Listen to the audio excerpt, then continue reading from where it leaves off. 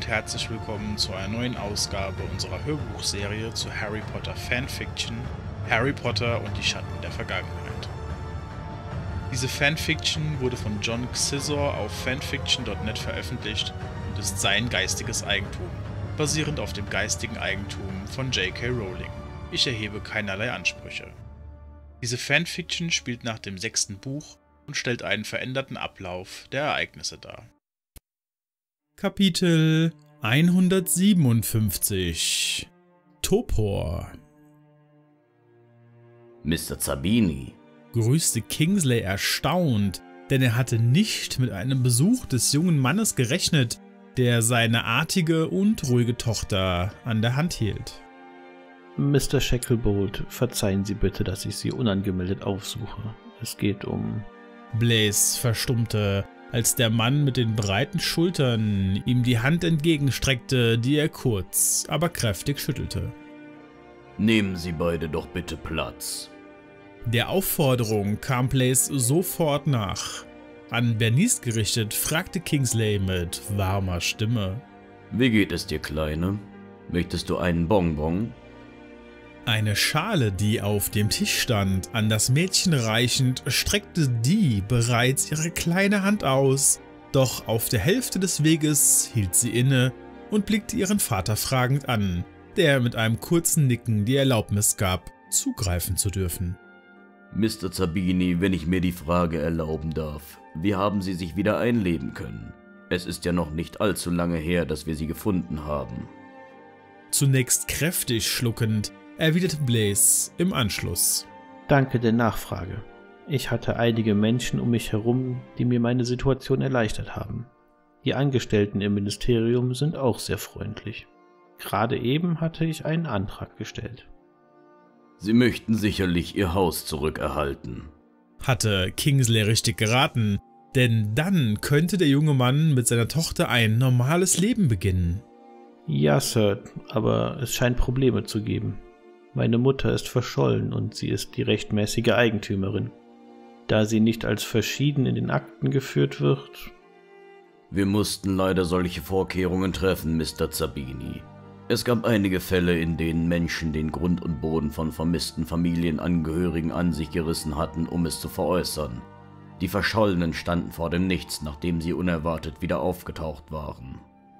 Blaze senkte seinen Blick und fühlte sich gekränkt, weil man indirekt auch von ihm glaubte, das Verhältnis zu seiner Mutter wäre womöglich so schlecht, dass er ihr in diesem Sinne schaden wollen würde. Aber Fuhr Kingsley ermutigend fort. ich denke, wir können in Ihrem Fall eine Ausnahme machen. Sie müssten nur unterschreiben, dass Sie den Besitz Ihrer Mutter weder baulich verändern, an Dritte veräußern oder mutwillig zerstören möchten. Und ich werde dafür sorgen, dass Sie nicht lange warten müssen. Ich werde ein Nutzungsrecht für Sie erwirken.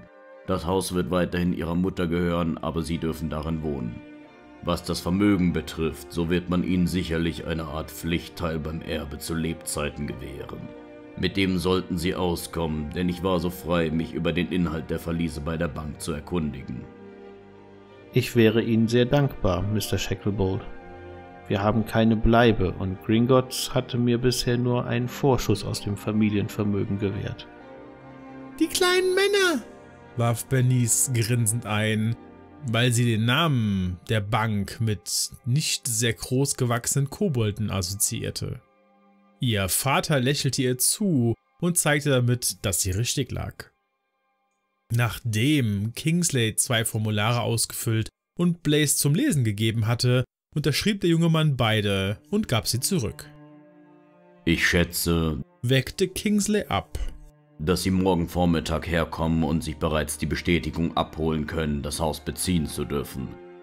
Die ministeriumseigenen Schutzzauber werden natürlich aufgehoben.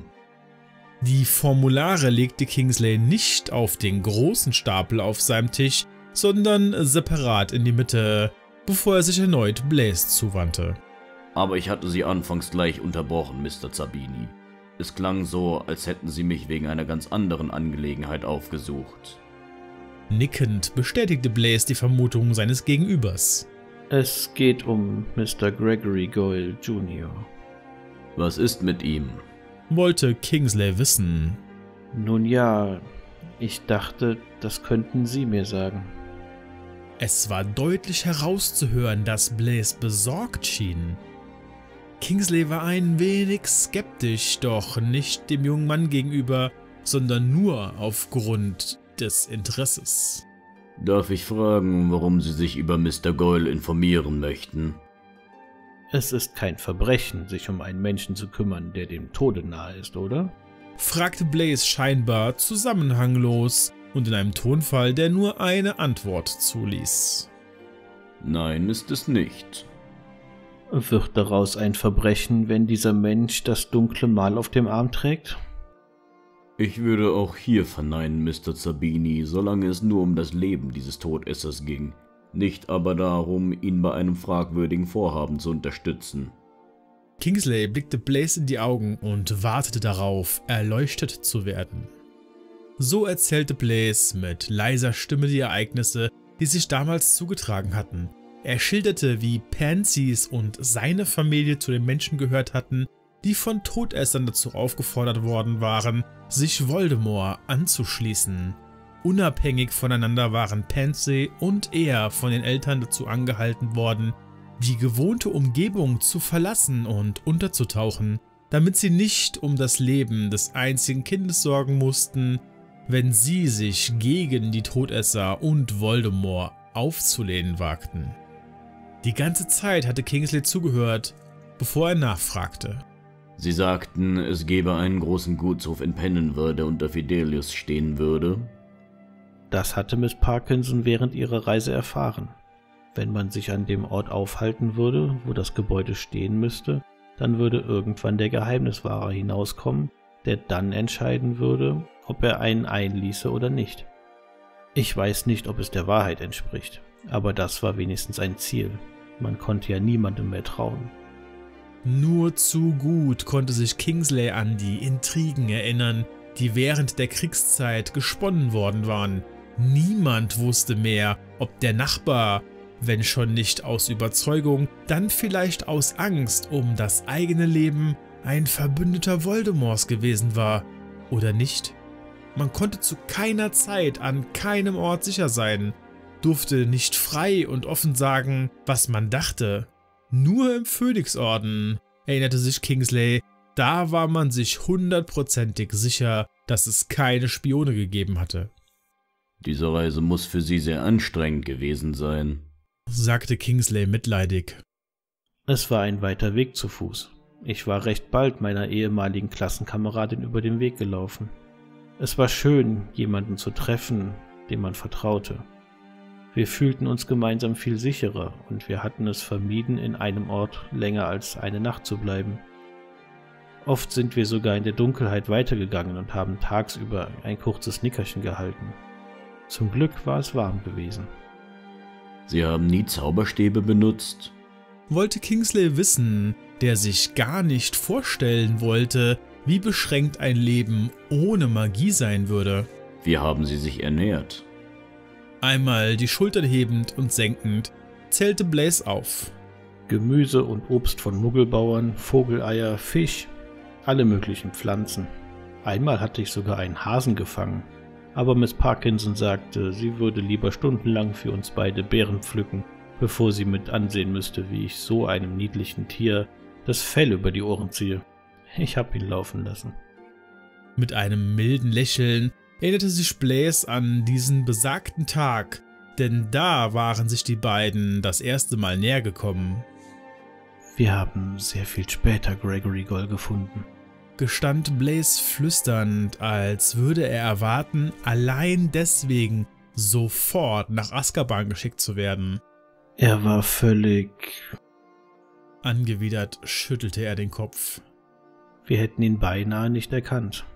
Man musste ihm ins Gesicht getreten haben. Alles war stark angeschwollen. Zwei seiner Rippen waren angebrochen und er hatte einen Schienbeinbruch. Er war nur bedingt bei Bewusstsein, als wir ihn fanden. Er war sehr verwirrt und sagte immer wieder, dass er seinen Vater hasste. Miss Parkinson war der Überzeugung, dass man ihn mit einem Cruciatus gefoltert haben musste. Seine Muskeln zogen sich spasmisch zusammen und er spuckte ein wenig Blut. Aus Erzählungen wusste sie von ihrem Vater, wie jemand aussehen könnte, der mit einem Cruciatus gefoltert worden war. Weil Kingsley die Augenbrauen zusammenzog, erklärte Blaze schnell. Ihr Vater hatte einmal durch Zufall ein solches Opfer gesehen. Kingsley nickte verständnisvoll, so dass Blaze fortfuhr. Wir haben uns um Gregorys Wunden gekümmert und ihn mitgenommen. Die ganze Zeit über zusammengetragen, ihn gefüttert und sauber gehalten bis wir nach ein paar Tagen an einen abgelegenen See gekommen waren. Miss Parkinson hatte die Gelegenheit beim Schopfe gepackt und all unsere Kleidung gewaschen und so auch die von Goyle. Erst da haben wir das dunkle Mal entdeckt. Beide haben wir so getan, als hätten wir es nicht gesehen, aber uns war in diesem Moment auch klar geworden, dass Gregory kein überzeugter Todesser war, nur weil er das Mal trug. Blaze lachte kurz auf, als er einen abstrusen Vergleich zog, denn er sagte, Und auch nicht jeder, der eine Krone trägt, ist automatisch ein König. Er schüttelte sachte den Kopf und flüsterte. Er ist da hineingeboren worden und konnte gar nichts dagegen tun. Wie ging es mit Ihnen dreien weiter? Nach und nach hatte Gregory bald wieder klar denken können. Er hatte uns nicht viel erzählt, nur immer wieder beteuert, dass er nicht wie sein Vater wäre. Wir waren mit ihm insgesamt ungefähr fünf Wochen unterwegs. Ständig mussten wir uns verstecken, weil die Wege und Straßen nicht sicher waren. Es hätte auf diese Weise ewig gedauert, Pennenworth zu erreichen. Gregory sagte, wir müssten sehr vorsichtig sein, denn wenn Pansy nur durch Zufall von Pennenwer gehört hätte, dann würden die Todesser sicherlich längst davon wissen. Unaufgefordert schenkte Kingsley seinem Besuch und dessen artiger Tochter einen Tee ein. Sie hatten damals beim Verhör gesagt, dass sie die Zauberstäbe absichtlich neben zwei Brandleichen gelegt hatten, damit man sie beide später für tot erklären würde. Warf Kingsley ein. Ja, unsere Stäbe sollten neben den Brandopfern ja nicht wie neu aussehen, deswegen sind wir vorsichtig in das schon heruntergebrannte Haus hineingegangen, um die Stäbe zu tauschen. Warum haben Sie nur zwei Stäbe getauscht? Hatte Mr. Goyle keinen bei sich? Wollte Kingsley wissen. Blaze schüttelte den Kopf. Hatte er nicht, aber zu diesem Zeitpunkt war er nicht mehr bei uns, denn kurz vorher... Blaze holte tief Luft. Am gleichen Tag gab es eine Auseinandersetzung zwischen Todessern und Muggeln. Man hatte Goyle erwischt. Erstaunt fragte Kingsley. Mr. Goyle wurde von den Todessern überwältigt? Nein, Sir. Er wurde von den Muggeln mitgenommen. Uns hatte man zum Glück nicht gesehen und wir konnten uns verstecken, aber Gregory war durch sein Bein, es war noch nicht ganz verheilt, sehr langsam gewesen. Er konnte nicht mit uns mithalten, sie haben ihn erwischt. Das ist wirklich, sagte Kingsley mit hochgezogenen Augenbrauen. Sehr ungewöhnlich, Mr. Zabini. Haben Sie eine Ahnung, was für Muggel das gewesen sein könnten? Nein, aber wir haben gehört, dass sie ihn nach Clover bringen wollten. Eins und eins waren schnell zusammengezählt, denn in der Nähe von Clover lag Hopkins kleine Festung, doch dem jungen Mann wollte er nichts davon sagen. Das war auch der Tag gewesen, fragte Kingsley, an welchem einer der Todesser Miss Parkinson mit einem Gegenstand in den Rücken gestochen hatte. Richtig, Sir. Miss Parkinson fühlte sich danach sehr schwach, obwohl der Stich nicht tief gewesen war. Ich habe gleich geahnt, dass es sich um eine Art Gift handeln musste, das sich nun in ihrem Blutkreislauf befand. Sie war zu diesem Zeitpunkt schon im dritten Monat schwanger, müssen Sie wissen. Ich hatte große Sorgen. Sie haben Pennenwer bald aufgegeben, wie es aussah, denn Malfoy Manor liegt in einer ganz anderen Richtung kombinierte Kingsley. Der Weg war zu gefährlich. Miss Parkinson war davon überzeugt, dass die Todesser uns im Haus eines Todessers nicht suchen würden. Wir wussten ja aus den Zeitungen, dass man Mr. Malfoy schon seit einiger Zeit vermisst gemeldet hatte und dass Draco von der Bildfläche verschwunden war. Außerdem gingen wir davon aus, dass Mr. Malfoy sich nach dem Ausbruch aus Azkaban sicherlich nicht nach Hause wagen würde also musste das Haus leer stehen. Als Freund der Familie waren die Schutzzauber für Miss Parkinson kein Problem, und solange ich bei ihr war, konnte auch ich das Haus betreten. Ein Problem waren anfangs die vielen Auroren, die das Herrenhaus bewacht hatten. Wir warteten zwei Nächte und nutzten in der dritten einen Schichtwechsel, um das Haus heimlich zu betreten. Dank des kräftigen Schutzwalls war es möglich, im Haus zaubern zu können, ohne dass irgendwelche Magiesignaturen nach außen gelangten, und deswegen hatte ich einen der Stäbe aus der Vitrine genommen. Eine kurze Sprechpause nutzte Blaze, um von seinem Tee zu nippen. Er wollte nicht, dass die Erinnerungen an die Zeit in Malfoy Manor ihn traurig stimmten. Sein Gegenüber strahlt jedoch so eine Vertrautheit aus, dass er sich einen Ruck gab. Miss Parkinson ging es während der restlichen Zeit der Schwangerschaft gar nicht gut, aber sie hat tapfer durchgehalten.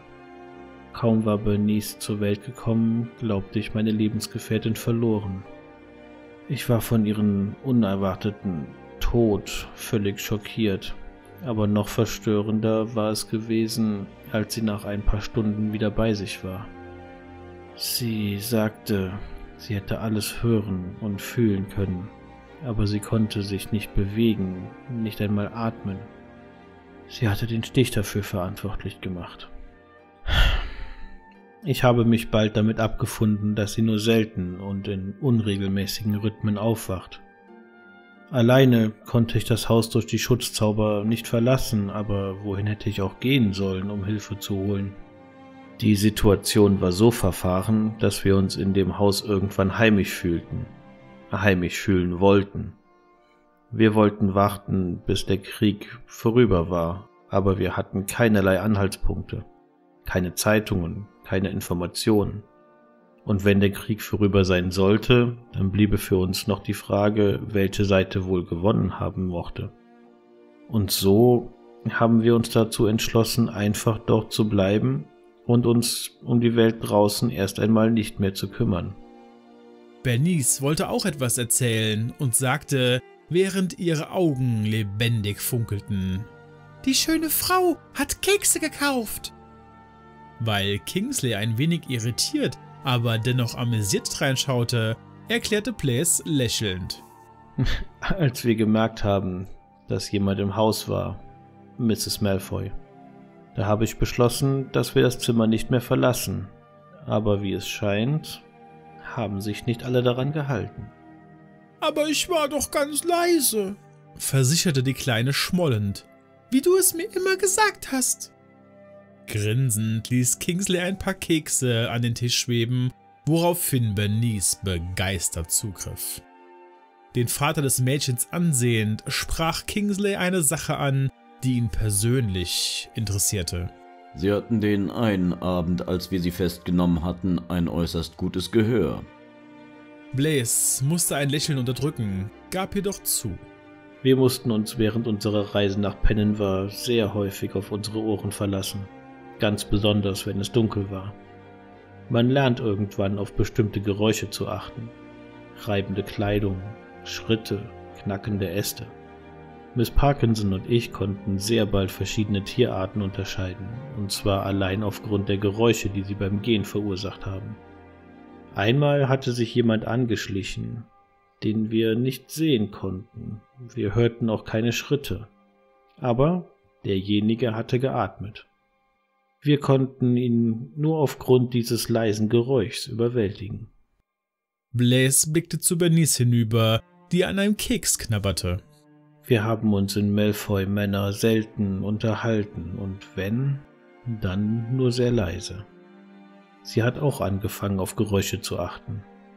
Ich dachte immer, sie könnte vielleicht irgendwann ihre Mutter atmen hören.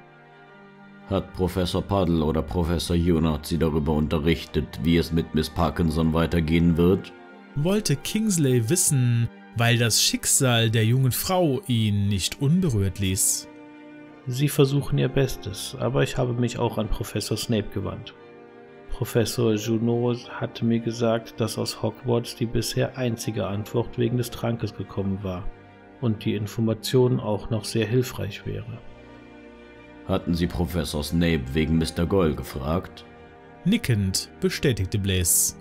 Er sagte, ich solle mit Ihnen darüber reden. Kingsley nahm einen tiefen Atemzug, bevor er dem jungen Mann eine äußerst vertrauliche Information gab. Mr. Goyle liegt im Mungus, gar nicht mal so weit weg von dem Zimmer, in welchem Miss Parkinson liegt. Erstaunt fragte Blaze nach. Auf der gleichen Station? Ja, als man ihn gefunden hatte, sah er ähnlich aus, wie Sie es beschrieben hatten. Ich vermute, dass die Muggel ihm nochmals sehr zugesetzt haben müssen. Er hat das Bewusstsein verloren und ist bisher nicht aufgewacht. Vom Regen in die Traufe, flüsterte Blaze mitfühlend, bevor er seinem Gegenüber in die Augen blickte. Er ist noch nicht aufgewacht? Nicht ein einziges Mal? Nein, leider nicht. Man kümmert sich um ihn, aber man kann ihn nicht behandeln, weil man nicht weiß, warum er nicht aufwacht. Er reagiert aber auf Schmerzreize und zeigt Abwehrreaktionen. Dürfte ich ihn wohl besuchen? fragte Blaze erwartungsvoll, weil er das Gesicht des ehemaligen Schülers, der ihm in einer schlimmen Zeit sympathisch geworden war, gern noch einmal sehen würde. Ich befürchte leider, dass das nicht realisierbar wäre. Nicht wegen Ihnen, Mr. Zabini, und auch nicht wegen Mr. Goyle selbst, aber wegen dessen Zimmergenossen. Vielleicht aber wäre es möglich, Mr. Goyle in ein anderes Zimmer zu verlegen. Blaze nickte verständnisvoll, bevor Kingsley fragte. Hat Mr. Goyle etwas über seine Zeit bei den Todessern gesagt? Wo sie sich aufgehalten hatten oder wer alles dabei gewesen war? Nein, nicht sehr viel. Er sagte nur, er hätte von nun an keinen Vater mehr. Ich hatte aus Gesprächen heraushören können, dass er jemanden umbringen sollte. Er hätte es nicht gekonnt. Ich habe nie nachgefragt, aber ich war mir sicher, dass man ihn deswegen so zugerichtet hatte. Man dachte wohl, er würde sterben und deswegen hatten sie ihn allein gelassen. Mr. Goyle sagte einmal zu mir, wenn er eines Tages sterben sollte, dann nicht in seinem Elternhaus und schon gar nicht vor den ganzen Todessern. Man kann vermuten, dass die Todesser im Haus der Golds gewesen waren, aber ich kann es nicht mit Bestimmtheit sagen. Er musste seine letzte Kraft dazu aufgebracht haben, sich nach draußen zu robben. In der gleichen Nacht hatten wir ihn gefunden. Wir wussten nicht einmal, dass ganz in unserer Nähe Todesser waren. Während Bernice bereits den dritten Keks wortlos verputzte, atmete Kingsley erleichtert durch. Es ist gut, dass Sie mit mir gesprochen haben, Mr. Zabini. Ich denke, ich werde es ermöglichen können, dass Sie Mr. Goyle besuchen können. Wo kann ich Sie erreichen? Momentan dürfen wir noch im Krankenhaus bleiben. Aber wenn ich morgen tatsächlich das Haus bekommen könnte. Das wird sicherlich reibungslos vonstatten gehen, versicherte Kingsley. Sie verabschiedeten sich voneinander und kaum war die Tür geschlossen, hörte Kingsley einen Plop hinter sich. Ein Elf war erschienen.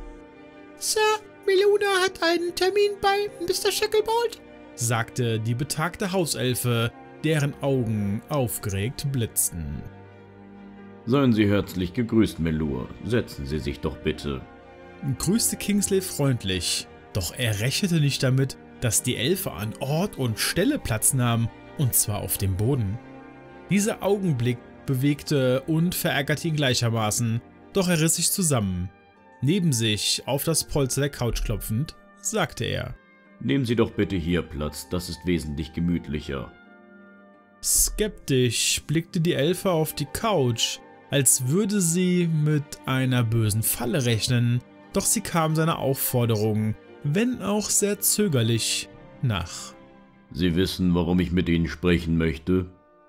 Die Elfe nickte heftig, doch man sah ihr an, dass sie sich nicht wohlfühlte. Sie können offen und ehrlich mit mir sein. Unser Gespräch ist vertraulich. Ihr Meister darf sich nicht über das heutige Gespräch mit mir bei Ihnen erkundigen, das hat er bindend unterschrieben. Es gibt also keinen Grund, Angst vor einer möglichen Bestrafung zu haben. Die Elfe machte ein Gesicht, als hätte man ihr gerade ein für sie bestimmtes Henkersbeil gezeigt, doch sie nickte, obwohl sie der Situation nicht zu trauen schien. Wie würden Sie Ihr Verhältnis zu Ihrem Meister und dessen Familie bezeichnen? fragte Kingsley vorsichtig, doch die Elfe antwortete nicht. Gibt es etwas, das Sie in Ihrem Leben gar nicht mögen? Wieder hielt die Elfe ihren Mund, doch an ihrem Gesicht konnte Kingsley erkennen, dass sie nachdachte und sehr wahrscheinlich alle Fragen in Gedanken beantwortete. Ich wäre Ihnen dankbar, wenn Sie mir Dinge nennen würden, die man in der Beziehung von Mensch und Elf verbessern könnte.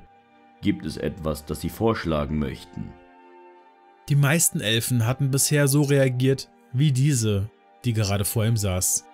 Sie hatten alle aufmerksam zugehört, doch kaum etwas gesagt und schon gar nicht Schlechtes über ihre Meister. Wenige Hauselfen waren jedoch ehrlich gewesen und ihre Schilderungen hatten Kingsley schockiert. Kingsley seufzte, weil er ahnte, dass Melua, die sechsjährige Hauselfe einer angesehenen Zaubererfamilie, ebenfalls nichts zu den Umständen ihrer Beschäftigung sagen wollte.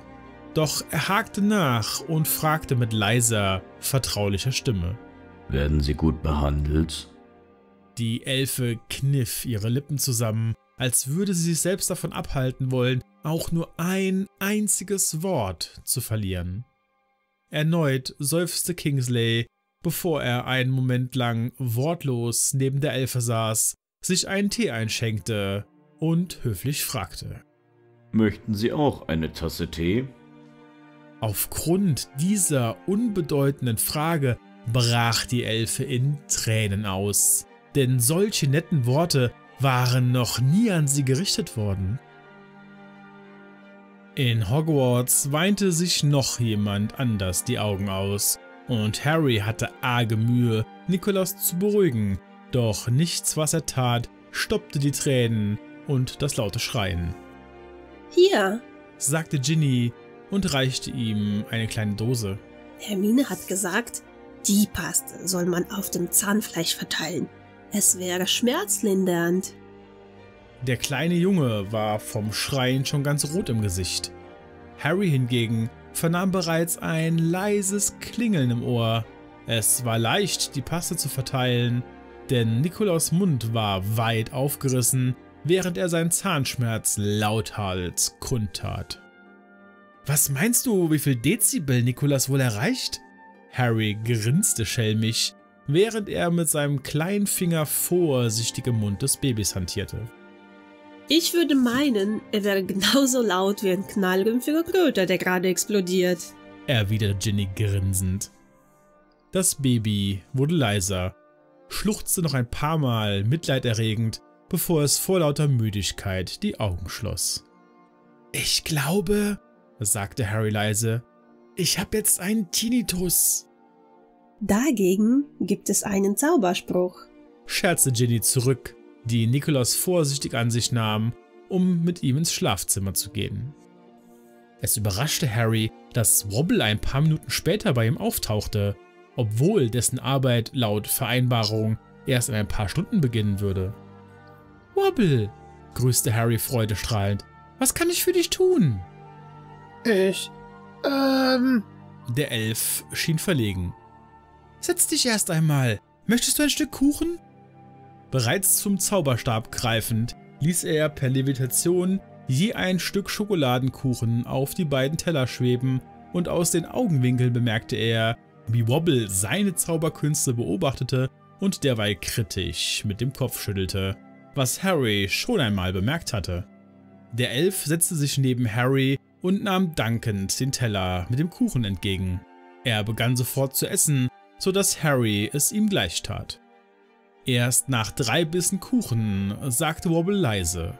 Sir, ich möchte in einer wichtigen Angelegenheit mit Ihnen sprechen. Verdutzt blickte Harry seinen kleinen Freund an und lauschte, als Wobble verbesserte.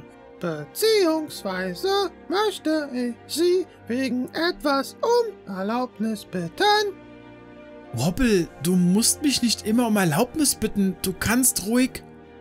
Nein, Sir, unterbrach Wobble mutig. Ich muss.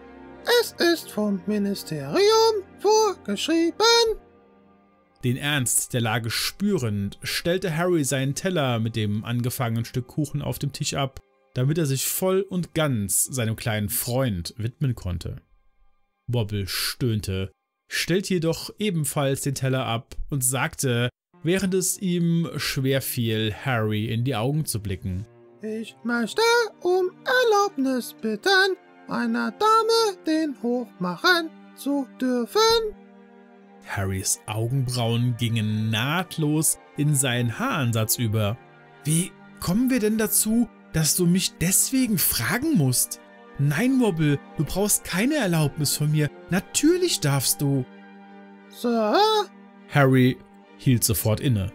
es ist gesetzlich vorgeschrieben, dass ein Hauself den Herrn um Erlaubnis fragen muss und nicht nur das. Wobble zog ein Stück Pergament aus der Jackentasche seines Trainingsanzugs. Auf dem Briefkopf erkannte Harry das Symbol des Ministeriums. Ich muss um Ihre Unterschrift bitten, Mr. Potter. Ich glaub's nicht, sagte Harry zu sich selbst, während er das Formular entgegennahm und zu lesen begann. Angewidert schüttelte er den Kopf, zauberte sich aber sofort Feder und Tintenfass herbei. Während er unterschrieb, sagte er entschuldigend, das tut mir so leid, dass du mich um so eine natürliche Sache bitten musst. Peinlich berührt reichte Harry seinem Elfen das unterschriebene Formular zurück. Er kam sich schäbig vor, obwohl er immer versucht hatte, Wobble wie einen freien Hauselfen zu behandeln, auch wenn er sich bisher vehement gegen Bezahlung gewehrt hatte. Harry hatte immer einen Weg gefunden, Wobble mehr Freiheit zu geben, als es laut Ministeriumsvorgaben vorgesehen war. Ihm über einen Umweg Kleidung zu gestatten, war nur die Spitze des Eisbergs gewesen. Mit zittriger Hand nahm Wobble das Pergament entgegen, um es in seiner Tasche verschwinden zu lassen. Harry konnte nicht anders, als seinen Freund ermutigend auf die Schulter zu klopfen. Doch da hielt Wobble ihm plötzlich ein weiteres Formular unter die Nase, während er selbst beschämt zu Boden blickte. Zögerlich nahm Harry auch dieses Schriftstück in die Hand und begann zu lesen, bevor er erbost in den Raum hineinmeckerte. Das kann es doch nicht geben! Das ist unmenschlich! Sich beugend flüsterte Wobble. Ich bin ja auch kein Mensch. Erschrocken über seinen eigenen Fauxpas versicherte Harry, das meine ich doch nicht so. Mit dem Schriftstück wedelnd zitterte er. Ich kann es nicht glauben. Das ist nicht nur rassistisch, das ist die absolute Höhe, Wobble. Eingeschüchtert wirkend fragte Wobble. Dann werden Sie es nicht ausfüllen und unterschreiben? Natürlich werde ich, aber ich wünschte, du müsstest von mir erst gar keine Genehmigung einholen müssen. Das ist ja wie im Mittelalter. Erzürnt über das Formular machte sich Harry daran, die einzelnen Punkte durchzulesen, während ihm immer wieder Schimpfworte entwichen, über die Wobble großzügig hinweghörte. Denn die galten jenem Menschen, der diese Regelung in grauer Vorzeit getroffen hatte. Was soll ich alles ankreuzen, Wobble? fragte Harry unsicher. Das, was Sie für richtig halten, Sir. Das geht hier um dein Leben, stellte Harry mit Nachdruck klar. Hilf mir bitte. Er warf seinem Freund einen flehenden Blick hinüber. Wobble rutschte auf der Couch nach vorn, betrachtete den ersten Punkt und fragte Harry verlegen. Wie viel Nachwuchs würden Sie mir insgesamt gestatten? Harry war sauer. Natürlich nicht auf Wobble, sondern auf die Menschen im Ministerium, die solche Formulare noch immer für notwendig hielten. Dean musste davon wissen, doch der konnte nichts dagegen ausrichten. Es waren Gesetze, an die sich jeder zu halten hatte. Ich sag dir was, Wobble. Ich bin, was diese Sache betrifft, er drückte dem Elf das Schriftstück in die Hand, absolut deiner Meinung. Ich möchte, dass du es für mich ausfüllst. Alles, was du ankreuzt, ist in meinem Sinne. Also mach dir keine Gedanken. In Ordnung? Ein Lächeln zauberte sich auf Wobbles Gesicht. Danke, Sir. Soweit zu unserer heutigen Episode von Harry Potter und die Schatten der Vergangenheit. Wenn euch die Folge gefallen hat, lasst doch gerne einen Daumen nach oben da und natürlich auch ein Abo, damit du keine Folge mehr verpasst.